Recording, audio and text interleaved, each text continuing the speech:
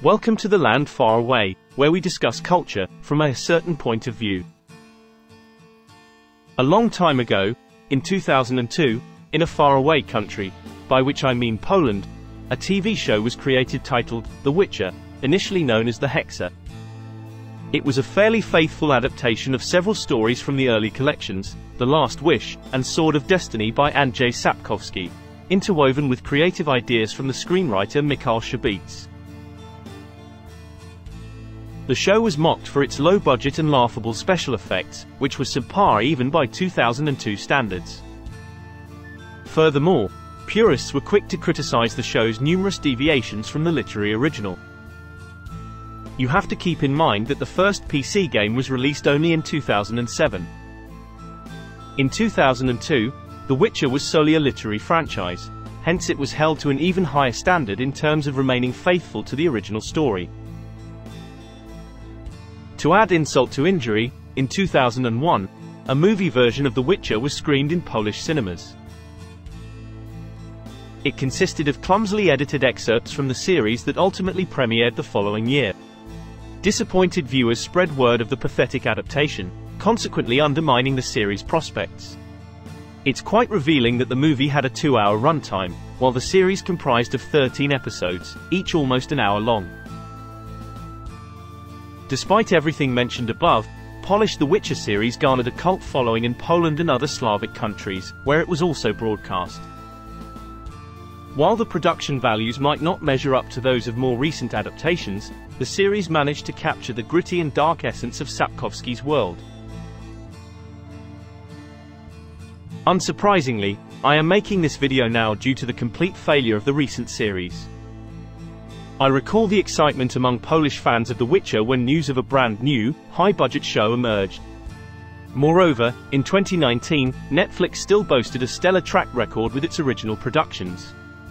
Thus, the show had significant goodwill backing it, stemming from the perfect casting of Henry Cavill, Sapkowski's cherished source material, and the Netflix seal of quality.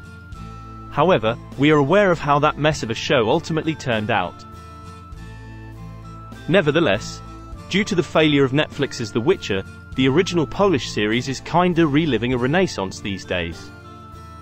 You know how lousy remakes don't replace the awesome originals. Instead, they enable the originals to shine once more. That's precisely the situation here. Declaring the 2002 version as great television would be an exaggeration, but honestly, I don't have a problem with calling it the superior show, for whatever that's worth. In what ways is it better then? First and foremost, as stupid as it may have sounded before the days of bait and switch, the Polish The Witcher is truly centered around the Witcher himself. Michal Żebrowski portrayed Geralt of Rivia, bringing the character to life on screen. He had the looks, the voice, and the acting chops. Also, what cannot be understated, he had competent showrunners behind his back. The Polish series is the story of Geralt. At the beginning, he's merely a youngster who rigidly adheres to the Witcher's code and tries to approach the world around him straightforwardly. With each successive monster slain, including those in human form, with each additional wound and brush with death, this Geralt starts to see the world differently, ultimately becoming authentically weary of the world and the perfidy of people in the later part of the story. The only things that keep him alive are two close individuals, Yennefer and Ciri. Polish series doesn't focus on action, spectacle, and special effects, which of course wasn't feasible, but it captures the essence of Sapkowski's prose, the complexity of human nature, shades of grey, the search for purpose in life, the importance of friendship, moments of joy and suffering, the essence of money, racism, and so on. All of this is presented in a traditional manner for cinema or theatre, through dialogue, acting, and creating the appropriate atmosphere. This series also doesn't create a separate storyline, but surprisingly adheres closely to the canon. Sapkowski is a master of intimate tales with a message, even when the rulers of the world came into play. The Netflix series practically eliminates the deepened plotlines and focuses on a story full of dynamic action, despite its apparent complexity, evolving into a rather straightforward narrative.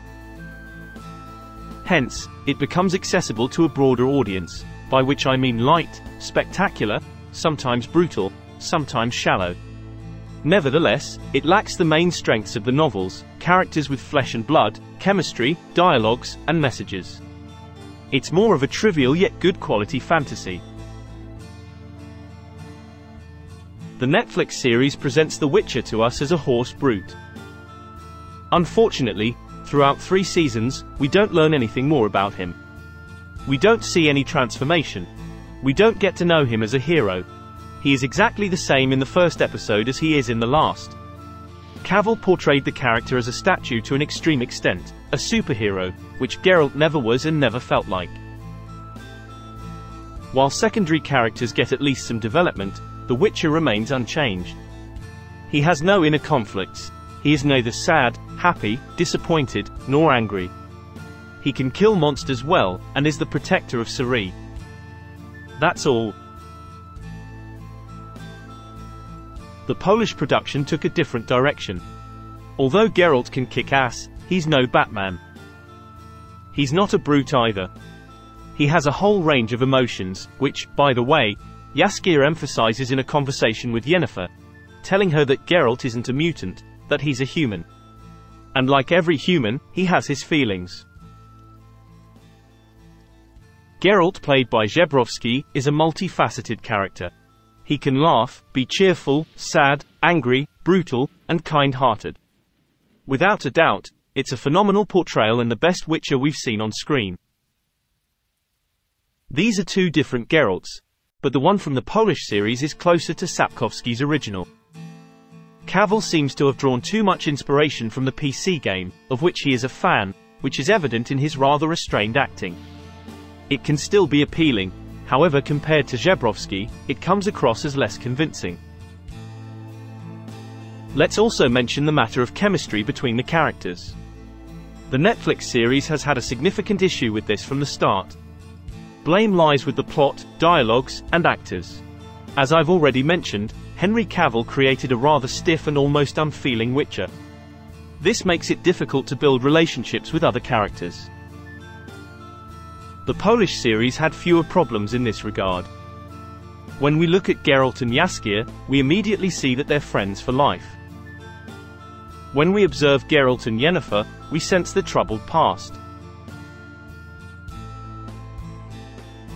When Geralt meets someone significant, distinct emotions are felt, and we watch the character's struggles with sympathy. Oh, and speaking of Jaskier, in the Polish series he's a drunkard, lazy bones, and a ladies' man, but when needed, a true friend. Let's just say it's a very Polish archetype. The Polish series doesn't have beautiful, colorful shots.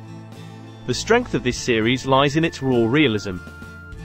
Yes, at times the show looks like it was filmed with a home camera by film students, but this technique has its merits.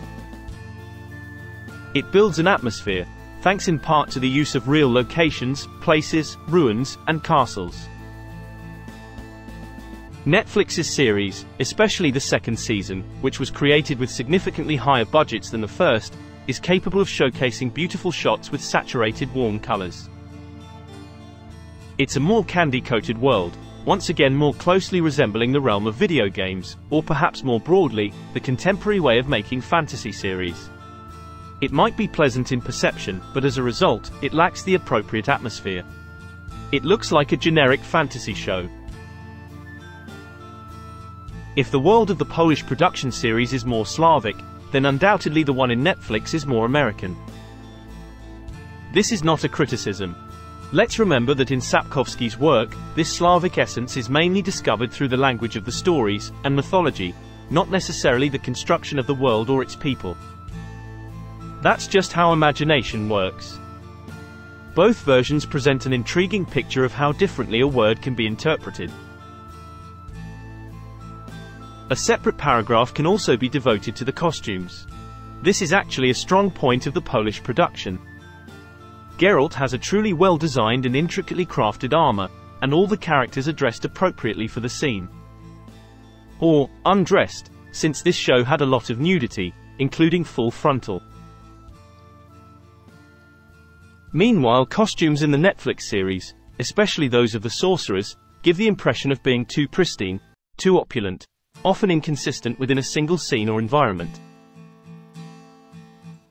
The witch's armor resembles superhero costumes from comics or Marvel movies too much, in my opinion. There's nothing to fault in the Netflix series when it comes to special effects and creature design. It's the highest tier achievable within budgets for series of this caliber. In the creature designs and special effects, you can see a significant attention to detail and a genuine desire to create something distinct that serves a crucial role in the storytelling. The Polish series faced enormous problems with special effects, resulting in memorable instances like the infamous dragon. However, let's remember that the dragon in the 13-episode series, spanning 13 hours, appears for about 10 seconds. The special effects didn't play a significant role here. When Geralt fights a monster, it feels like a thrown-in inflatable toy. To put it plainly, watching this series for the special effects misses the point. A separate topic is the fight scenes, executed in a very spectacular manner in Netflix's adaptation. Blood splatters, heads roll, limbs are severed. It's engaging to watch, though on the other hand, it lacks a certain finesse. The Polish series didn't do fights better or worse, but it definitely has nothing to be ashamed of. Realism was once again prioritized. The fights are more captivating to watch because there's an element of unpredictability, and the emotions of those fighting are visible on their faces. It's an analogous situation to lightsaber duels in the original Star Wars trilogy, and the prequel trilogy, with the latter being flashy and heavily coordinated, but usually not as realistic and emotionally engaging as they used to be back in the day.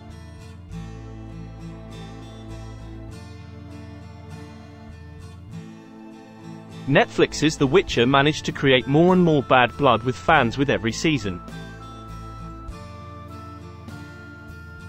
Meanwhile the underrated Polish series, after all these years, stands its ground with a well-crafted narrative, masterful atmosphere, outstanding performance by Mikhail Zebrowski, excellent dialogues, and good music.